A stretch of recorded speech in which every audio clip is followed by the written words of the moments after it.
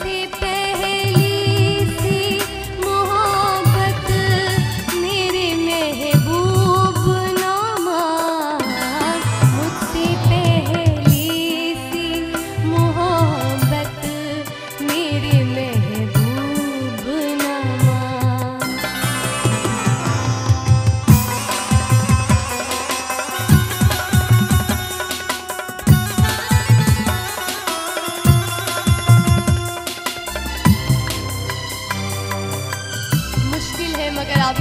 आपके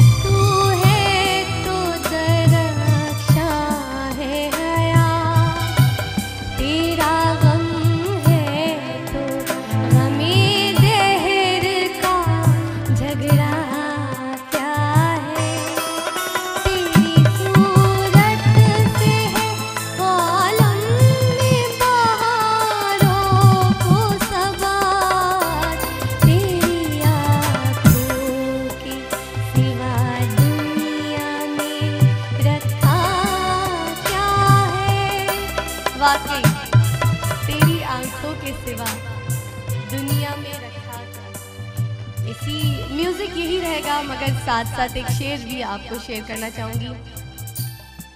उसको चाहा भी तो इजहार ना करना आया। उम्र कट गई, हमें प्यार ना करना आया। उसने मांगा भी तो हमें, जुदाई मांगी। और हम थे कि हमें इनकार ना करना आया।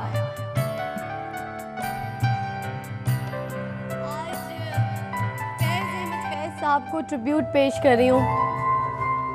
ये मेरी खुशकिस्मती है कि मुझे ये मौका मिला कि मैं फैज़ अहमद साहब उर्दू अदब के शायर, इतना बड़ा नाम उनको आज ट्रिब्यूट पेश कर रही हूँ। उन्होंने इतना काम किया हमारे उर्दू अदब के लिए। माशाल्लाह कि आज वो नहीं है, मगर उसके बावजूद उनका काम जो है वो ज़िंदा है, उनका काम बोल रहा है। और कभी भी उनका काम ख़त्म नहीं हो सकता। हर एक के दिल में, हर एक की ज़बान में गीत बन के, गज़ल बन के, उनके शेरों के हिसाब से जिसको मोहब्बत होगी, वो फैज़ आपको ज़रूर पड़ेगा।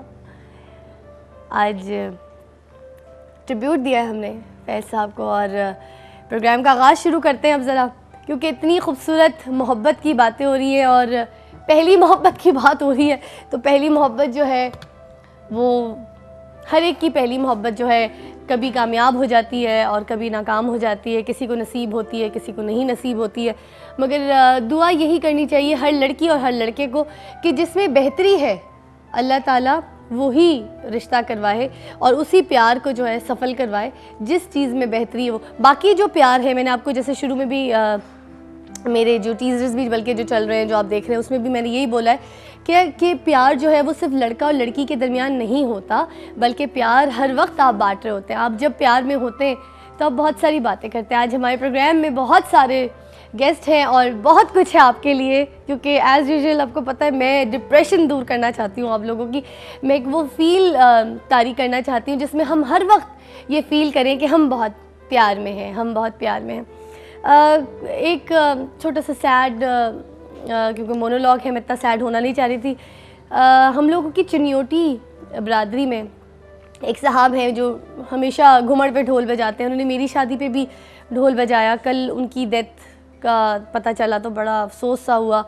और क्योंकि मैं चाह रही थी कि हम लोग आगे कुछ अभी अपने कुछ वीक जो है सेलिब्रेट करें। कुछ ऐसे हम लोग अपने कुछ हमारा कॉन्सेप्ट कुछ इस तरह का था कि मेरा बड़ा दिल था कि वो अपने ढोल के साथ मेरे शो पर आए, मगर मुझे बहुत अफसोस है कि वो नहीं आ सकेंगे। और वरना मैं आपकी मुलाकात करवाती इतना खूबसूरत ढोल, क्योंकि पूरी चिन्योटी बरदरी की शादियों में हमेशा वो चाहे कराची हो, लाहौर हो, मुल्क से बाहर हो ढोल के लिए जाते थे। मगर बहुत अफसोस है कि आज हमारे दरमियान नहीं, और अल्लाह ताला उनको जन्नत फिरदौस में आला दर्जे का मुकाम भी अता फ़रमाए। और खैर इस मूड को मतलब तारी तो नहीं कर सकूँगी, मगर आगे थोड़ा सा रौनक और थोड़ा सा फ़न क्रिएट करने के लिए मुझे छोटी सी एक ब्रेक की ज़रूरत है आज। मुझे ज़रूरत है ब्रेक की, क्योंकि हमेशा मैं कहती हूँ, आपको ज़रूरत है ब्रेक की एक ब्रेक लेकर आए आज मुझे ज़रूरत है। फिर देखिए, मेरा मूड थोड़ा सा नॉर्मल हो जाएगा, क्योंकि क्या करे, इंसान है, दुख और दर्द, खुशी हम सब साथ लेके चलनी है, और कोशिश करनी है कि खुशियाँ जो हैं वो बाँटें।